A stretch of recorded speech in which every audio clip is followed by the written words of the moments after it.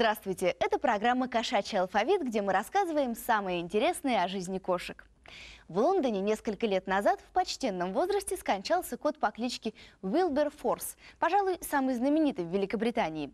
Его карьера началась в 1973 году, когда бездомного кота подобрали на улице и принесли в резиденцию премьер-министра, где завелись мыши. Мышиная проблема вскоре была решена. С тех пор он бессменно нес свою вахту, исправно служа чиновникам. Утверждают, что он иногда присутствовал даже на заседаниях Кабинета министров. Особенно он полюбился Маргарет Тэтчер. Из зарубежных поездок она часто привозила ему различные угощения. Когда кот одряхлел, его отправили на пенсию в один из частных домов. Вот это жизнь, не правда ли? А сегодня мы вам расскажем о породе такой эксклюзивной, что каждому ее представителю впору воздавать почести не меньшие, чем этому знаменитому английскому коту. Давайте же скорее смотреть. Уральские самоцветы и уральские кошки. Кто из них краше и эксклюзивнее? Сколько надо бегуди, чтобы завить одну мурку? И, наконец, что нужно знать любителям курчавых кошек – об этом сегодня в программе «Кошачий алфавит».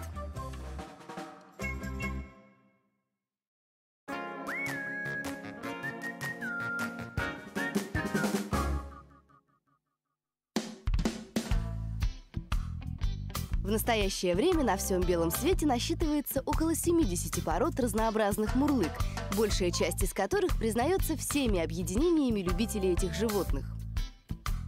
Россия может по праву гордиться тем, что из существующих в мире официально признанных пород кошек, по крайней мере, четыре являются российскими. Сибирская кошка, донской и петербургский сфинксы и курильский бобтейл. Недавно к ним прибавилась еще одна – уральский рекс. Урал славен не только полезными ископаемыми, но и своим богатым животным миром – еще в 40-х годах 20 века геологи и биологи, вернувшись из экспедиций, упоминали в отчетах о том, что видели в уральских деревнях странных кудрявых кошек. Впрочем, сведения эти так и не стали достоянием общественности. Изменилось все в середине 90-х годов, когда в городе Заречной Свердловской области обычная кошечка по кличке Мурка родила трех котят, два из которых имели диковинную шерстку, короткую в виде локонов. Одного такого кудряша оставили в семье и назвали Василием. Когда он подрос, у него с Муркой родились кудрявые котята.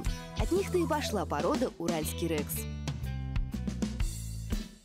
В конце 90-х годов из Екатеринбурга в Москву были привезены две кошки – Маркиза и Бонни и кот Клайд.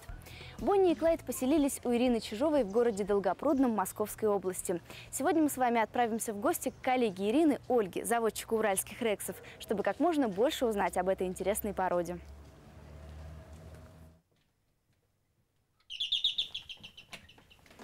Здравствуйте, Здравствуйте. программа «Кошачий алфавит» Елена. Здравствуйте, Ольга. Проходите, пожалуйста. Спасибо.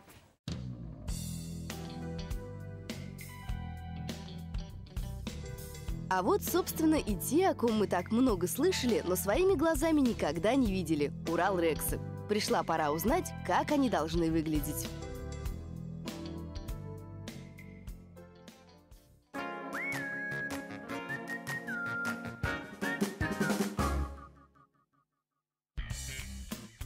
Тело у этих кошек небольшое, округлое, с хорошо развитой мускулатурой – Ноги средней длины, лапки овальные. Постав конечностей широкий, разница в длине между передними и задними ногами незаметна. Хвост доходит до половины тела, прямой и тонкий, шерсть на нем вьется. Голова красиво закруглена, широкая в скулах, имеет форму равностороннего треугольника. Лоб слегка выпуклый, надбровья ярко выражены. Морда округлая, маленькая, подбородок не выступает. Шея длинная, мускулистая, усы извитые. Уши средней величины поставлены высоко, широкие в основании с закругленными кончиками. Глаза миндалевидной формы, большие, выразительные. У Уралов может быть любой окрас шерсти и цвет глаз – до 2011 года этих рексов даже разрешено вязать с другими породистыми кошками, чтобы влить новую кровь и получить новые окрасы. Вот мы видим эту девочку, представителей каши. Окрас черный, э, пятнистый таби. Э, Скоро мы получим от нее потомство. Если ген таби домин- будет доминантом, то все котята будут вот такие у нас полосато-пятнистые.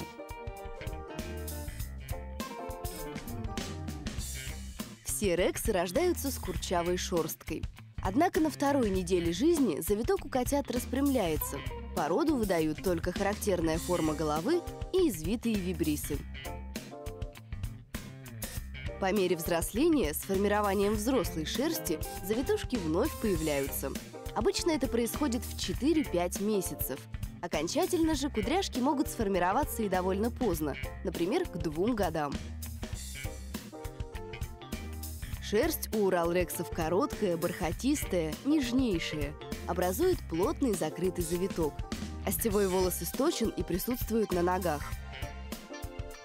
Кошки бывают двух видов, короткошерстные и полудлинношерстные. У нас в Москве только короткошерстные кошечки. Вот, возможно, одна девочка будет полудлинношерстной, но это надо будет смотреть уже ближе к двум годам. Когда шерсть, э, новая шерсть, вернее, старая шерсть уйдет, она растет новая. Но это будет уже определять эксперт. Иногда среди котов и кошек этой породы встречаются особи с прямой шерстью.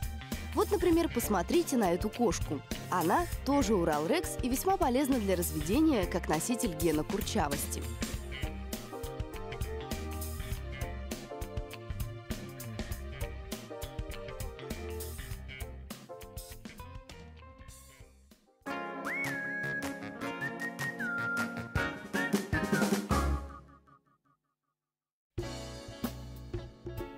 Урал-рекс – порода редкая. Люди узнают о ней по-разному, в основном пока из интернета. Видят курчавых кошек и умиляются, справедливо полагая, что эти кудряшки – совершенно чудесные создания. Скажу вам откровенно, не часто мне доводилось видеть столь ласковых мурлык. А уж хозяева своих питомцев просто обожают. Ой, ну вообще, как бы таких никогда не видела. Он когда был маленький, был такой вот практически без шерсти, бархатистый. Просто вот уникальный котенок, очень умный, ласковый, вечно на ручке куда-нибудь лезет. В общем, мы были просто в восторге. Урал Рекс ведет себя как полноправный член семьи. Он любит своего хозяина беззаветно. А вообще, эти животные в меру независимы и в меру ласковы.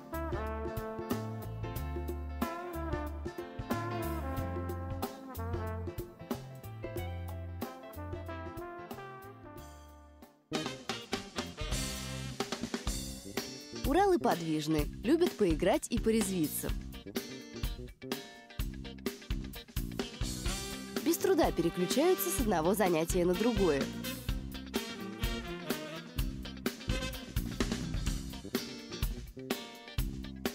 Будучи существами добродушными и общительными, они легко находят общий язык со всеми домашними животными и спокойно адаптируются к любым жизненным ситуациям и условиям. Так получилось, что сегодня гостями в этом доме стали не только мы, но и вот эти вот замечательные создания. Однако посмотрите, как спокойно они ведут себя в незнакомом месте. Урал-рексы везде и всегда чувствуют себя хозяевами положения. С такой кошкой вы будете абсолютно счастливы. И любовью одарит, и мышей ловить будет. Уралы – те еще охотники.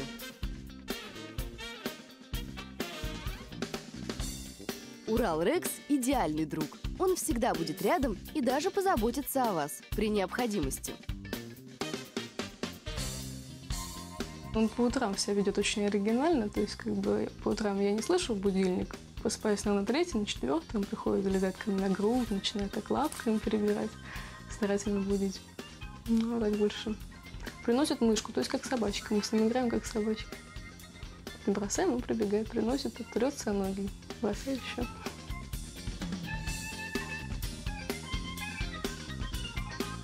Урал Рекс рады любому общению с хозяином. Она ненавязчивая, а, но постоянно рядом. То есть вот не очень любит, когда берешь ты ее на руки, но постоянно с тобой вот ходит, тобой мурлычет. Вот. Если сядешь, она может сама залезть на руки. Вот. А когда ты ее берешь, она не, не очень любит. Но тем не менее, меня это устраивает. А вот уралы-коты более сговорчивы. Они невероятно ласковы и очень любят посидеть на ручках. Гришенька, ну ты что-то не хочешь поцеловать меня? Гриш, Гриш, Гриш, Гриш, мой котик, да. Гриша хороший, Гриша хороший, хороший, хороший Гриша. Котята Уралов – настоящие непоседы. Глаз да глаз нужен за этими шалунами. Очень, кстати, похожими на эльфов. Кто знает, может, они и впрямь появились из сказки.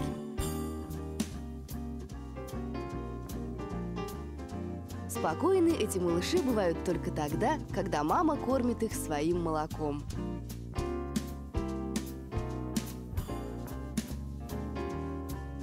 Видите, как забавно приподнят хвостик у этой девочки.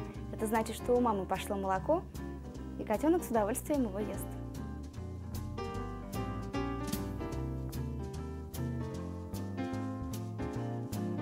Коты Урал-Рексы – галантные ухажеры. Они могут долго и терпеливо добиваться внимания своей пассии.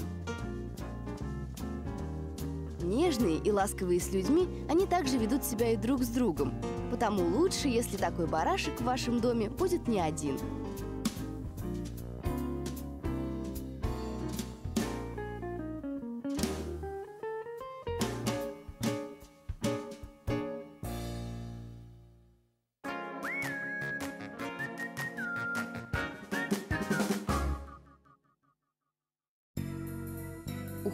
Уральским рексом не сложен, что выгодно отличает эту породу от других. Основные процедуры – вычесывание или тримминг, то есть выщипывание. Оно применяется, если кошка линяет сильно, клочками. Такое часто наблюдается у уральских рексов. Не пугайтесь, если заметите проплешины на теле своего любимца. Он не болеет, просто меняет шубку. Кстати, владельцы уральских рексов говорят о том, что в период линьки животного шерсти в доме почти не прибавляется.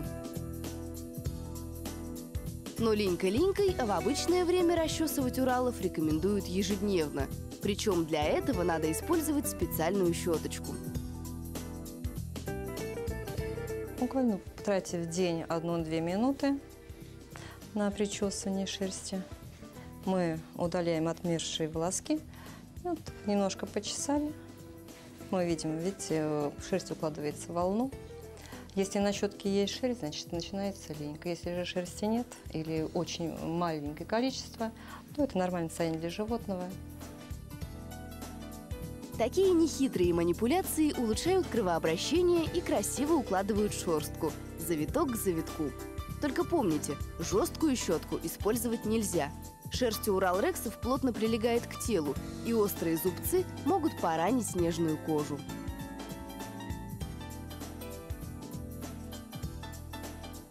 Все Уралы от мала до велика любят полакомиться свежей травкой или овсом.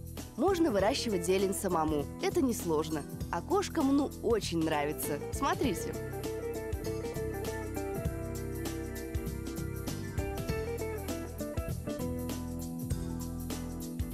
Покушать мы любим.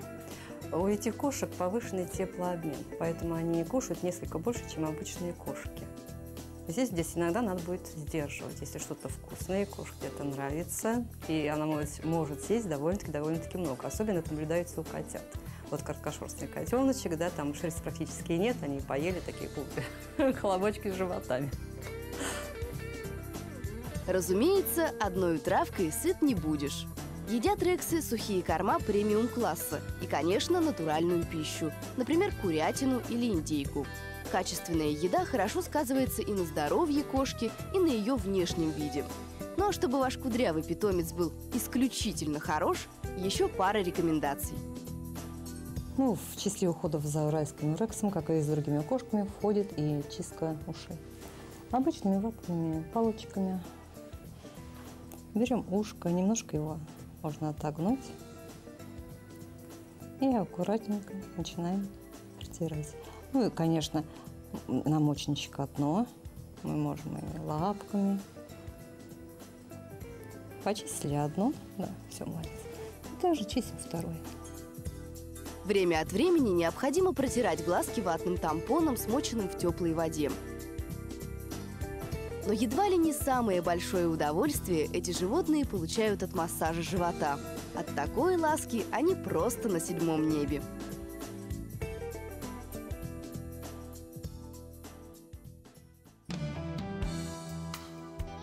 Большой плюс уральских рексов – их тихий приятный голос. Разговаривают они мало и спокойно. Вряд ли вам когда-нибудь доведется услышать, как кричит Урал-рекс. Даже в брачный период редкая кошка позволит себе тревожить хозяина пронзительным мяуканьем. В общем, хороши эти кошки, не поспоришь. Людям невозмутимым и уравновешенным станут они добрыми товарищами, а тем, кто бывает не в меру импульсивен, помогут успокоиться и подарят любовь.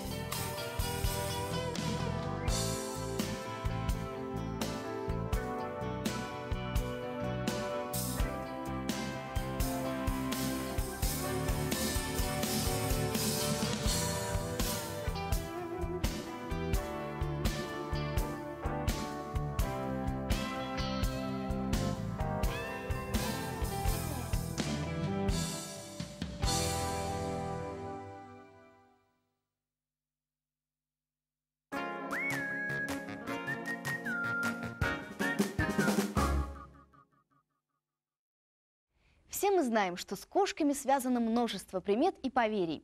Но оказалось, что даже если кошка вам просто приснилась, это уже что-нибудь да значит. Видеть во сне кошек или котов к измене в любви, обману и неприятностям. Котята снятся к мелким неурядицам, но иногда такой сон обещает семейные радости, например, хлопоты о маленьких детях или внуках. Приснившаяся белая кошка предупреждает вас о возможном коварстве со стороны приятелей. Белый котенок – ловушка для неосторожной женщины, грозящая потерей чести или имущества. Черная кошка – явный враг. Гладить кошку во сне к ошибкам в личной жизни – прогнать, избавиться от неприятностей. Ну а если кошки снятся вам просто от большой к ним любви, ничего не бойтесь и не верьте никаким приметам. Это была программа «Кошачий алфавит». До свидания.